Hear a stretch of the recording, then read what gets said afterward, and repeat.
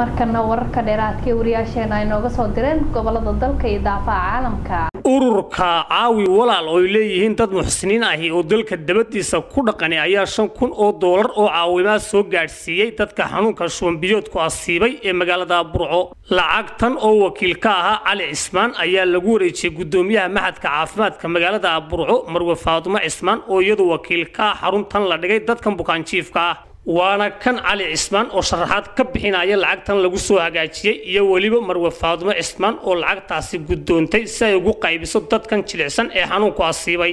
Bismillahi raxmaan raxiim waxaanu maanta joognaa xaruntii caafimaadkii lagu daweynayey dadkii ay masiibada shuban biyoodku haleeshay. Sababtaan u joognaana waxay tahay marka horeysa inaan u kuurgalno dee masiibadaas dadka ay haleeshay xaaladooda inaan ogaano mar labaadkan inaan wareejinno lacagay u soo dirnay dadkaas oo dad muxsiniini soo ururiyeen oo kuwa halkaa ku qoran ee caawi walaalah lacagtaasoo shan kun oo dollar ah markaa waxaa halkan nala jooga hormuudkii shaqaalaha marwo faadumo faadumo cismaan oo ah madaxa iskuulka tababarka caafimaadka ee magaalada burco. Marka lacagtaasaan doonaya inaan ku wareejiyo faadumo si ay ugu qaybiso dadka beeshinka ah ee la soo dhigay isbitaalkaas. Marka lacagtaasi waa shan kun oo dollar cali cismaan halkan noogu yimi. Halkan waxaa dee yaalla dad xanuunsanaya oo meelo kala duwan ka yimi runtii dhibaato badanna qaba. Dadka dee xanuunku ma yaqaano qofkana jilicsan iyo qofkana waxaysta qof walba ku soo dhacaya. Laakiin wuxuu aada saameyn ugu yeelanaya dadka danyarta ee masaakiinta en iska bixin karin ee geeriyu ku yimaadaan. Runtii dee ajar baa la soo baxdeen.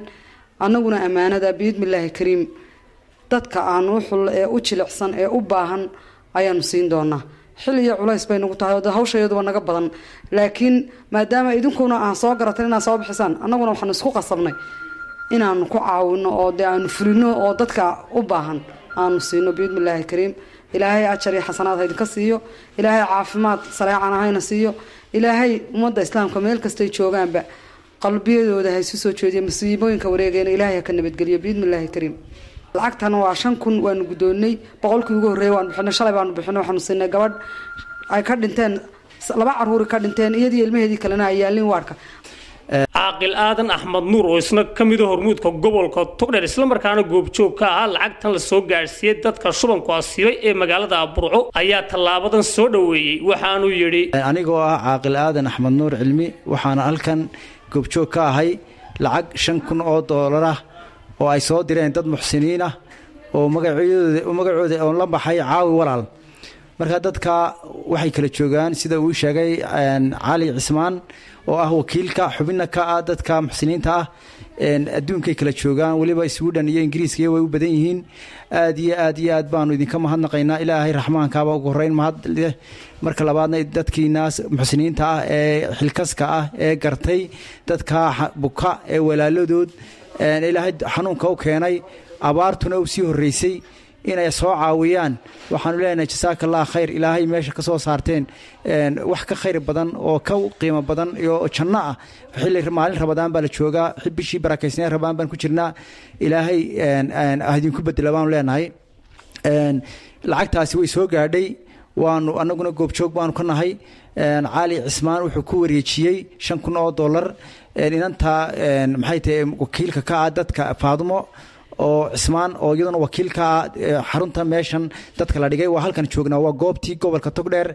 Halkii weeyaan dad fara badan baa yaalla xanuunka imika weli aad uma soo degin meel dhexma marayaa. Kuna laakiinse way iska fiican yihiin oo ma garanaysaa dhimashadu waa soo yaraatay laakiinse xanuunku waa jiraa aad buu socdaa.